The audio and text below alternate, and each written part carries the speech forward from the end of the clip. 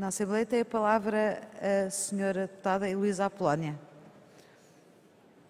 Muito obrigada, senhora Presidente, senhoras e senhores deputados. Como as senhoras e os senhores deputados devem recordar, já nesta legislatura, de resto como noutras que a antecederam, os Verdes apresentaram uh, um projeto de lei com vista a proibir uh, o cultivo e a libertação deliberada em ambiente de organismos geneticamente modificados. Não seria uma coisa propriamente inovadora ao nível da União Europeia, tendo em conta que outros países, por razões de segurança e de aplicação do princípio da precaução, tomaram justamente essa decisão.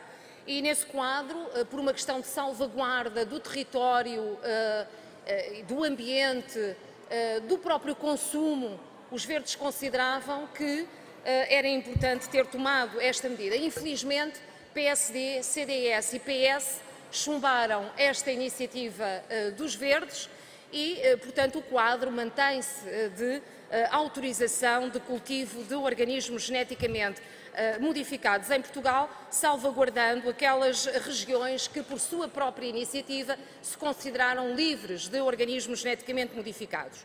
Bom, neste quadro, os verdes consideram que, pelo menos, há uma questão que deve ser feita no sentido de salvaguardar os consumidores. Há estudos feitos ao nível da União Europeia que deixam muito claro que a generalidade dos consumidores não aceita o consumo de organismos geneticamente modificados e tem uh, grandes uh, reticências, digamos assim, à generalização desses produtos no mercado e na sua oferta no mercado. Contudo, há uma fragilidade por parte do consumidor, que é a atual legislação determina que só se o produto uh, tiver presença de organismos geneticamente modificados em quantidade superior a 0,9%, é que é obrigatória a sua rotulagem.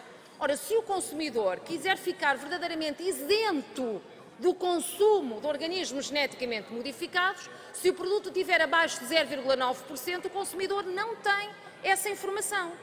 E cientificamente é possível detectar essa presença de organismos geneticamente modificados, pelo que esta não informação ao consumidor só tem em vista servir as multinacionais do setor agroalimentar e nada mais. Mas há aqui um princípio eh, que é prioritário, que é a defesa e a informação ao consumidor. Daí que os verdes venham agora propor que qualquer que seja a percentagem de contaminação, o produto no seu rótulo deve conter a informação de presença de organismos geneticamente modificados.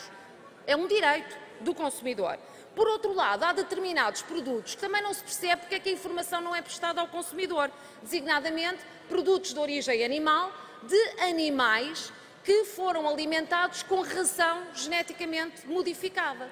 Porque é que esses produtos de origem animal não hão de trazer no seu rótulo uma informação ao consumidor que aquele animal foi alimentado com OGM. Portanto, há aqui de facto ah, uma ah, variadíssimas lacunas na lei que fragilizam os direitos dos consumidores e só tendem a servir de facto as multinacionais do setor agroalimentar. Muito obrigada, Sr. Presidente. Muito obrigada, Sra. Deputada. E agora pelo PAN, Sr. Deputado André Silva.